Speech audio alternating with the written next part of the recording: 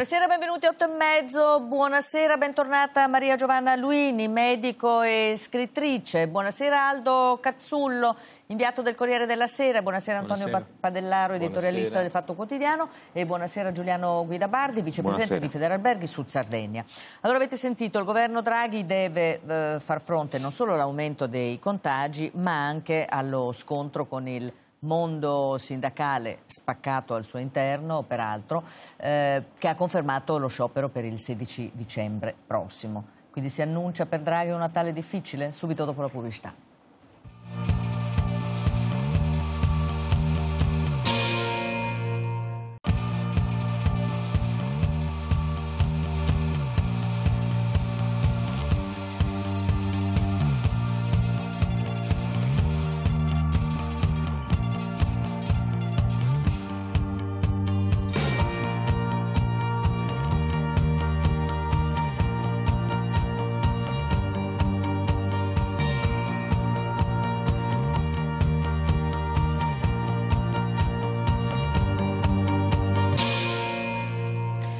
Padellaro, allora il governo Draghi deve far fronte non solo all'aumento dei contagi ma anche allo scontro con il mondo sindacale diviso al suo interno ma eh, CGL e Will hanno confermato lo sciopero del prossimo 16 dicembre. Quindi si annuncia un Natale difficile per Draghi che ehm, peraltro si è innervosito alla notizia sì. ieri di, di, questo sciopero e però pare che voglia anche evitarlo a tutti certo. i costi.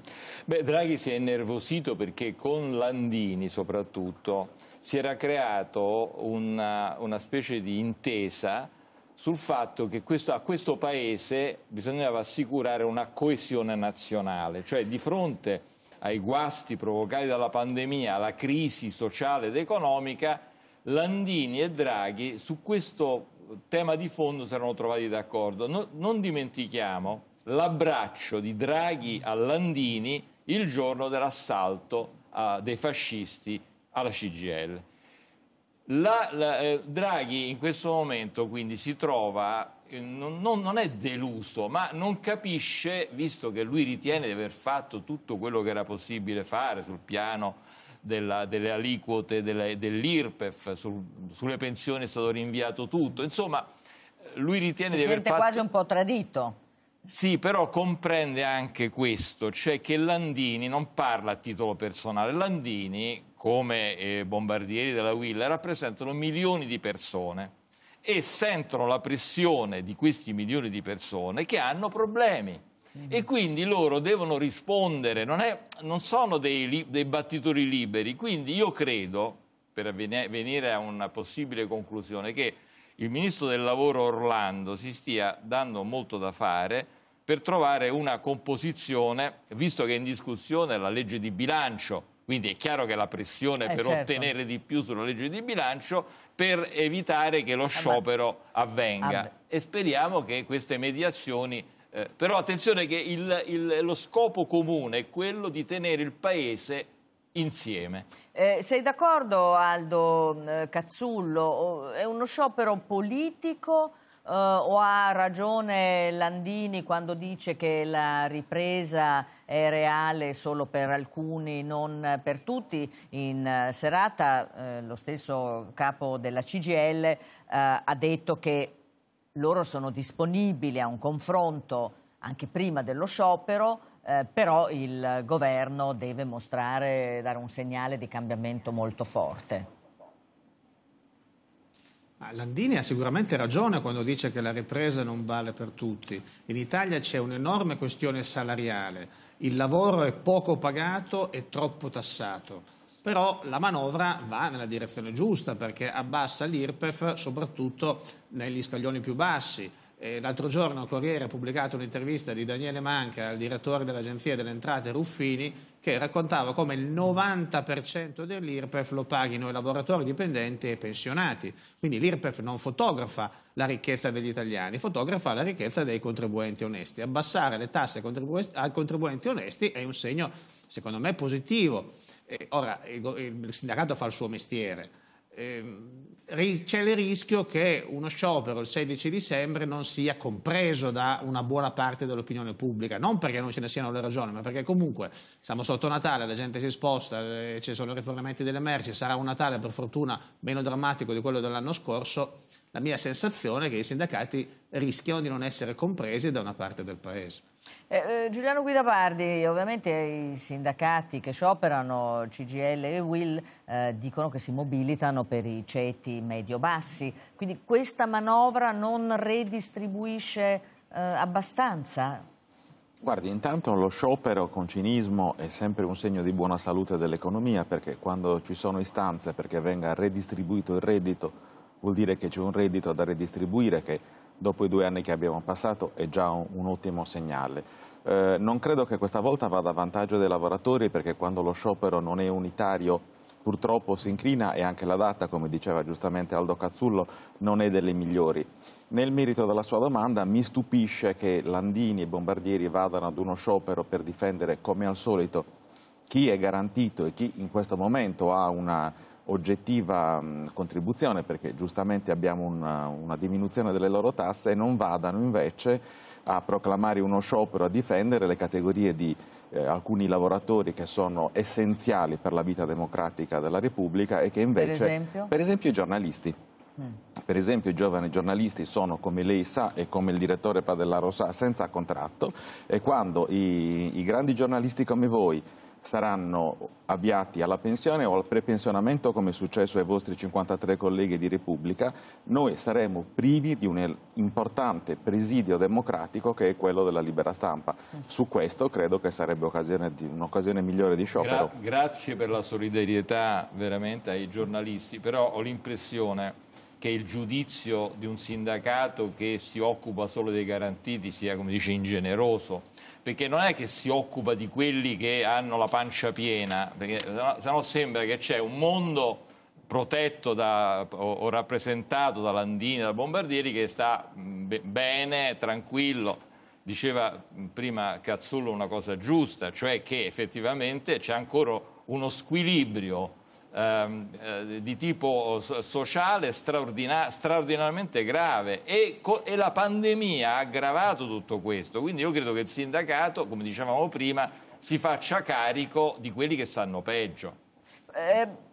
È così, dottoressa Luini, ma glielo chiedo perché eh, prima Aldo Cazzullo si chiedeva il rischio per i sindacati è che questo sciopero non venga tanto compreso dall'opinione pubblica. Eh, lei pensa che in un momento in cui tra l'altro i contagi da coronavirus sono in aumento, eh, la gente capisca questo sciopero? Ma io parto sempre dal presupposto che la gente capisca, eh, però è vero che lo sciopero di per sé è un linguaggio, è un modo di parlare un modo di esprimere un disagio che evidentemente non si è espresso in altro modo. Quindi è da ascoltare, secondo me c'è una grande pressione a tanti livelli, quindi se è vero che ci vuole coesione, in questa coesione però bisogna anche ascoltare il linguaggio di chi in questo momento è in oggettiva difficoltà, perché la difficoltà esiste. È quello che dicevi tu prima Antonio Padellaro e eh, abbiamo detto che i contagi sono purtroppo in aumento, anche le vittime, oggi 99 morti. Eh, il Super Green Pass eh, sono in vigore da praticamente 48 ore e sta andando tutto molto bene, pare che eh, funga anche da spinta per le prime dosi. Oggettivamente Draghi non poteva fare di più su questo fronte. Beh, quando eh, la Merkel nel salutare dopo, dopo, essere stato uno dei punti di riferimento non solo dell'Europa ma del mondo, dice che invidia l'Italia per come ha eh, affrontato il problema della pandemia in tutte le sue fasi, eh, quindi nella fase del lockdown, nella fase poi della vaccinazione, fa, dà un riconoscimento che eh, ba basta di per sé, cioè che un, premier tedesco parli bene degli italiani, non credo che ci siano molti precedenti. Quindi io credo che il governo, i governi abbiano fatto tutto quello che era possibile fare e i risultati si vedono, si fa quel che si può, perché non è che poi i, mancano 6 milioni di persone, perché sono circa 6 milioni 400 e rotti. Mm.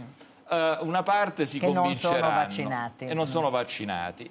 Una parte si convincerà, una parte non si convincerà e, e, e dovrà accettare le restrizioni del Super Green Pass. Oltre ovviamente a rischiare la propria pelle e a rischiare la pelle degli altri. Eh, Guida Bardi, anche gli albergatori, eh, quelli diciamo reticenti al Green Pass, al Super Green Pass, dovranno accettare, ovvero al, reticenti al Super Green Pass, perché tutelerebbe anche voi. E glielo chiedo perché una parte eh, degli albergatori chiede una deroga al eh, governo per No, non dunque, no, dunque, il Green Pass ben venga, in albergo c'è il Green Pass diciamo così basic, non il super Green quello Pass. Quello di base, sì, quello semplice diciamo. Ed io in prima linea sono super soddisfatti dell'idea del, del, Green Pass. Hanno detto delle altre cose, gli albergatori ad esempio di confine, quelli che giustamente vedono le prenotazioni che dal sud Tirolo si spostano al Tirolo o da Courmayeur si spostano a Chamonix, chiedono che ci sia uniformità di regole in Europa e chiedono che ci sia una possibilità eh, diversa per i clienti che arrivano dal, fuori dalle aree europee dove c'è il Green Pass, ma sul fatto che il Green Pass sia un, ecce un eccellente strumento non lo dico io, non lo dice il direttore Padellaro, ma lo dicono un milione di persone che nel giro di, di, di due giorni hanno chiesto di vaccinarsi. Se ci fosse stato tutto questo pericolo per la salute e la vita, non si sarebbero vaccinate, avevano paura di non entrare in ristorante. Ma voi albergatori siete preoccupati per questo aumento dei contagi che ormai diciamo, è eh, regolare da settimane? Io faccio una domanda a lei adesso, questa che è la trasmissione, il talk show più seguito in Italia. Si ricorda quando nel marzo del 2020 le dissi che sarebbe durata per due anni? Sì. Perfetto. Adesso con la stessa forza le dico che le conseguenze economiche dureranno per molti più anni e la preoccupazione esiste perché tutto quello che è successo ha lasciato delle ferite e ne lascerà ancora. Quindi economicamente la ferita non è chiusa, la pandemia si avvia grazie a Dio e grazie ai vaccini ad una soluzione, economicamente abbiamo una, una crisi che andrà avanti ancora per anni. Eh, sei d'accordo Aldo Cazzullo? Eh, non solo diciamo, da un punto di vista economico avremo un long covid, eh, ma mh, diciamo che, che, che, è una situazione eh, molto difficile oggettivamente sul fronte pandemico perché ci sono esperti, scienziati, medici eh, che pensano che ci vorranno comunque almeno due anni per uscire dalla pandemia da un punto di vista medico? No, la situazione non è facile, Lilli, però come è stato fatto notare siamo messi meglio degli altri grandi paesi europei, a cominciare dalla Germania e anche dalla Francia, dove eh, si viaggia a quasi 50.000 casi al giorno. Eh, sicuramente ha ragione il vicepresidente degli albergatori Sardi quando dice attenzione che eh, l'economia non è che sì, adesso sì c'è una spinta, c'è un rimbalzo, ma sarà lunga, non sarà facile, bisogna spendere bene i soldi del PNRR e non so se siamo attrezzati per farlo, mi sembra che siamo abbastanza in ritardo. Però le misure di contrasto della pandemia sono state efficaci, l'alternativa sarebbe il vaccino obbligatorio, ma ho la sensazione che sia una misura che magari in linea teorica sarebbe anche giusta, ma sul piano pratico sarebbe molto difficile da imporre il vaccino e finirebbe per infocolare proteste che adesso si stanno sopendo. Io sono a Trieste, che è stata l'epicentro della protesta, Federica, governatore, sotto scorta, però adesso la protesta si è assopita, è zona gialla, la gente comunque rispetta le regole, quasi tutti eh, tengono la mascherina anche all'esterno, la città è vivace, il paese comunque sta reagendo. Eh, sta reagendo abbastanza, dottoressa Luini, siccome lei è anche eh, psicoterapeuta, perché eh, chiaramente parlava, siamo partiti con eh, lo sciopero generale annunciato da eh, CGL e Will e abbiamo detto che c'è tutta una parte di paese frustrato, in difficoltà oggettiva, che eh, viene rappresentato anche in questo modo. Ecco, come, come si fa a gestire eh, diciamo un, una popolazione con questi chiari di luna, cioè con una prospettiva di pandemia ancora molto lunga. C'è una frustrazione crescente ovviamente. Sì, le, le rispondo da, da, medico in uh, formazione psicoterapeutica specialistica, ma perché la, la, risposta viene da tutte e due le parti. Eh, accettando la situazione, grazie a un'informazione adeguata, si può giungere alla coesione di cui parlavamo prima o accennavamo prima e si può giungere anche a una maggiore cooperazione globale, cioè eh, in ogni situazione di crisi l'accettazione di ciò che è, quindi della differenza rispetto a prima, è la base necessaria per trovare soluzioni. E come si fa ad accettare? Avendo informazioni eh, chiare, anche quando ci siano dubbi da esporre, in modo da essere davvero uniti, uniti anche nel dubbio, ma camminare insieme. Ma eh, lei vede molte persone dubbiose, vede eh, molte persone disponibili a cambiare insieme. Che, che clima vede nel Paese? Beh, c'è, c'è, molta tensione che deriva da un insieme di informazioni che non sempre sono realmente chiare. Eh, vabbè, questo è normale però vedo che l'informazione data in un certo modo, quindi senza estremismi, ma con la chiarezza e anche con la necessità di accettare ciò che non capiamo, viene, viene accolta bene. Sinceramente la mia esperienza non è negativa, dipende molto da come comunichiamo. Ecco, eh, in tutto questo, mh, mm, Antonio Padellaro, eh, la, la politica eh, si deve sì occupare della pandemia, ma si occupa tantissimo anche dell'elezione certo. del nuovo capo dello Stato. E oggi eh, abbiamo visto alla Scala di Milano un applauso di sei minuti per il presidente Mattarella con eh, la platea che gridava bis, bis, bis, cioè Chiaramente questo Presidente della Repubblica ha un grandissimo seguito nell'opinione sì. pubblica, gode di grandissima stima e fiducia. Quindi, uno, Mattarella potrebbe cambiare idea, due, tu vedi i partiti che si stanno preparando per l'elezione di un nuovo capo dello Stato? Beh, escluderei un ripensamento di Mattarella, persona molto seria, l'ha detto tante di quelle volte che mi sembra un po' difficile un ripensamento, però c'è un dato di fatto. Visto che il tema è quello del tenere il paese insieme, no? e quindi tornando a prima, non è che Landini e, Draghi siano su due fronti diversi, cercano ognuno per la, par, per la parte sua. La Lega ha detto stasera che lo sciopero è insensato. Vabbè, la, è la Lega e la Lega fa la sua parte, la conosciamo. Però ecco, la figura di Mattarella, attenzione, è il cemento in, a, eh, che ha tenuto insieme in questi anni, soprattutto negli ultimi due anni, il Paese. Quindi la successione a Mattarella non sarà semplicemente l'alternanza di un capo dello Stato con un altro degnissimo, ma sarà la fine del settennato di Mattarella e quindi la fine di quella figura che è stata applaudita per sei minuti ma che è riconosciuta dall'intera collettività, quasi da tutta la collettività nazionale come l'elemento cardine di questo, del, del, del, paese. Quindi attenzione che purtroppo sette anni eh, poi finiscono, ma finiscono per, nel, per Mattarella, con Mattarella nel momento più difficile quindi il passaggio è in, di per sé complicato. I partiti cosa fanno? I partiti fanno quello che devono fare i partiti, stanno cercando degli accordi eh, eh, eh, difficili, complicati per tutte le cose che sappiamo, Draghi, Palazzo Chigi, Draghi, Quirinale, insomma queste cose io credo che alla fine saranno sciolti questi nodi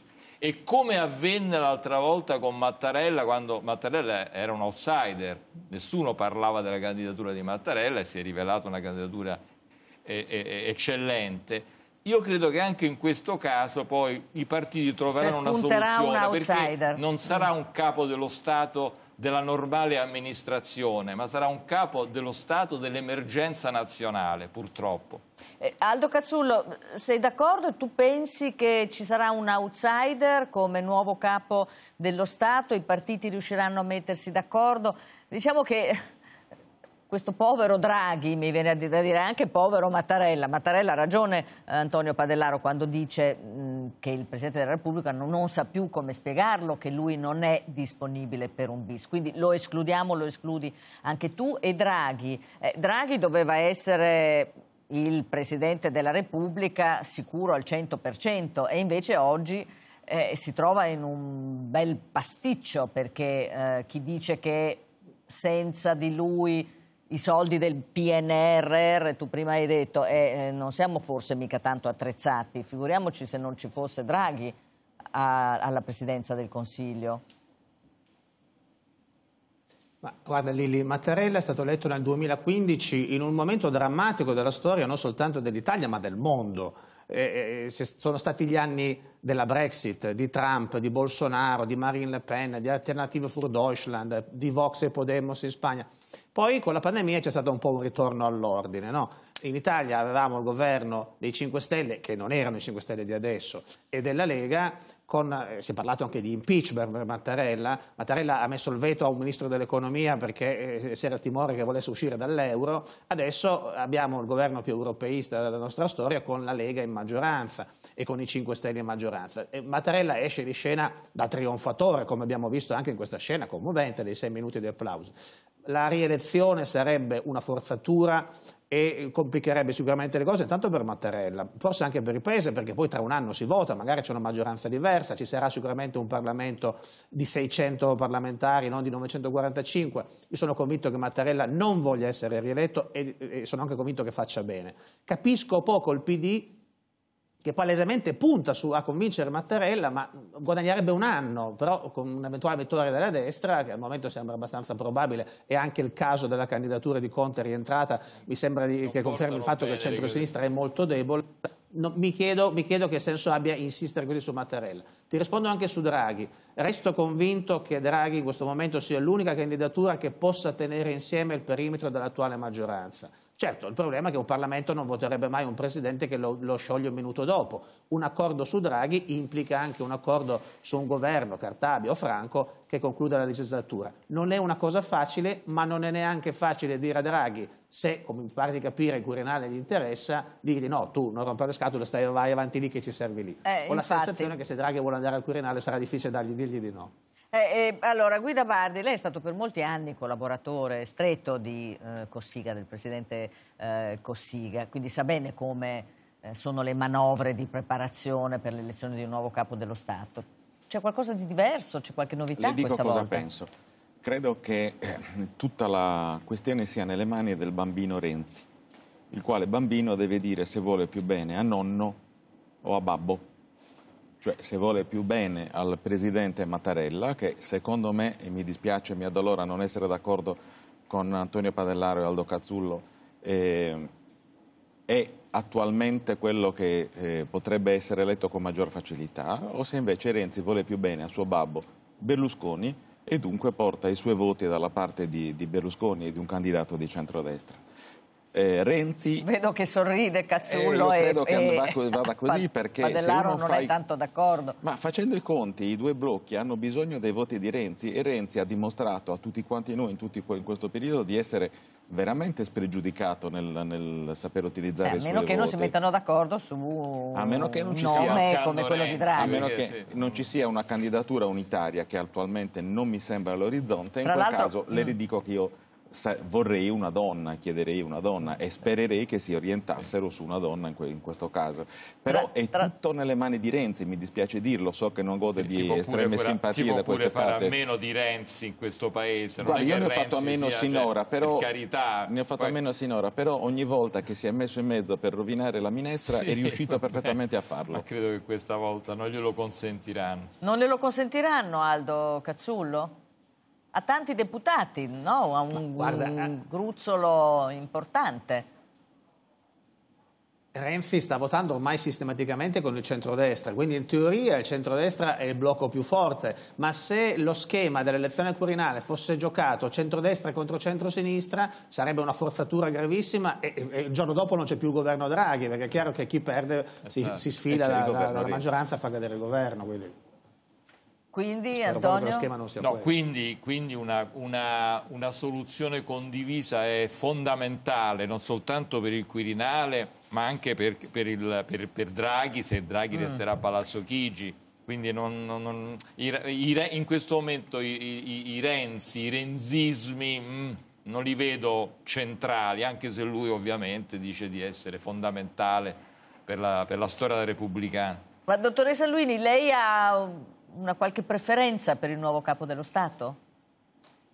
Una donna, ci vuole oh. armonizzazione, ci vuole empatia, ci vuole capacità strategica, ci vuole mm, nervo saldo, eh, una donna. Una donna, eh, eh, eh, questo ce lo auguriamo in tanti.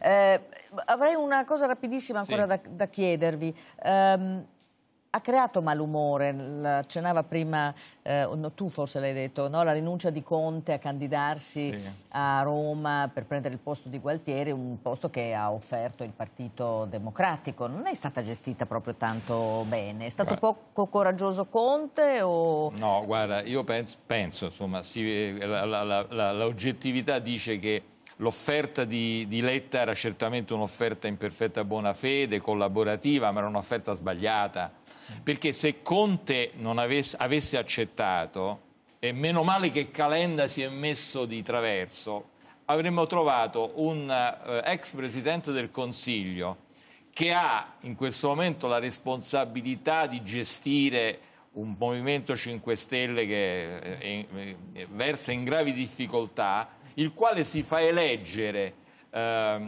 come un membro della casta quando eh, il, il, il, Movimento 5 mm. Stelle inveiva contro la casta e tra l'altro eh, nel momento in cui deve girare l'Italia per eh, mettere insieme i cocci di questo movimento diventerebbe un assenteista come giustamente ha detto quindi io credo che Calenda e Renzi mettendosi di traverso gli abbiano fatto un grande favore a, a Conte e nel loro interesse se fossero stati furbi l'avrebbero dovuto lasciare andare avanti, però non sono furbi, ecco perché Renzi non è il, quello che decide tutto, perché so, non è furbo. Sorride Aldo Cazzullo, telegrafico?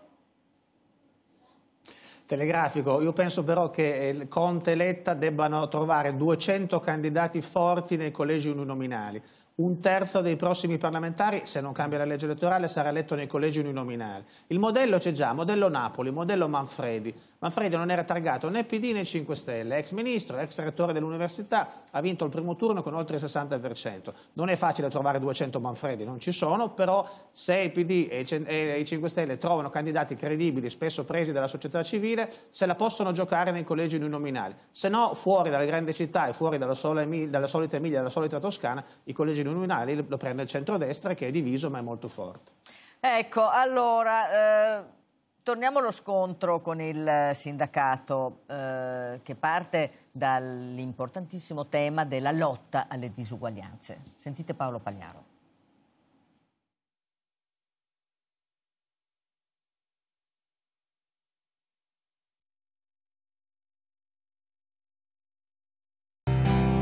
Fa un gran discutere di disuguaglianze, ma tra sei mesi la parola verrà a noia e si farà finta di aver risolto il problema perché si smetterà di parlarne. È il timore di Fabrizio Barca che insieme ad altri 11 studiosi ed esperti si cimenta, invitato dall'editrice Liberetà, con il problema numero uno del nostro tempo. Il libro si intitola Uguaglianza, è curato da Andrea Criscenti e fa giustizia di molti stereotipi. Michele Raitano, ad esempio, ci spiega che il lavoro povero, cioè meno di 1000 euro lordi al mese, non nasce perché il padrone non rispetta i minimi contrattuali, ma perché c'è una diffusione enorme, macroscopica del part-time involontario. Dai dati dell'Inps risulta che attualmente il 30% dei dipendenti ha un contratto a orario ridotto, percentuale che sale al 50% per le donne. Dunque lo sfascio è provocato non dalla quantità di salario, ma di ore lavorate. Un altro intervistato, Massimo Cacciari, invita a non inseguire un'astratta idea di uguaglianza, visto che nasciamo diversi, e pensa che dovremmo essere solidali, non uguali. La giurista Lorenza Carlassare sottolinea la portata rivoluzionaria di una Costituzione che allo Stato assegna il compito di rimuovere gli ostacoli che impediscono ai cittadini di avere le stesse opportunità, esercitare gli stessi diritti e coltivare gli stessi sogni. E il cardinale Matteo Maria Zuppi, arcivescovo di Bologna, nota che in questi anni è diminuito lo scandalo che le disuguaglianze dovrebbero provocare. Ci si è assuefatti, ma la disuguaglianza produce odio e l'odio a sua volta produce disuguaglianza. È un meccanismo perverso che in questi mesi abbiamo potuto osservare da vicino in molte piazze reali e virtuali. Siamo in chiusura, grazie dottoressa Luini, ricordo il suo libro per Mondadori, Parla come ami e grazie Aldo Cazzullo, ricordo il tuo libro che è da mesi eh, in classifica, Il posto degli uomini, pubblicato da eh, Mondadori. E grazie Antonio Padellaro, grazie Giuliano Guidabardi, grazie spettatrici e spettatori. E vi lascio Giovanni Flores al suo di martedì, eh, quindi state con noi e noi come sempre domani 8 e mezzo. Arrivederci.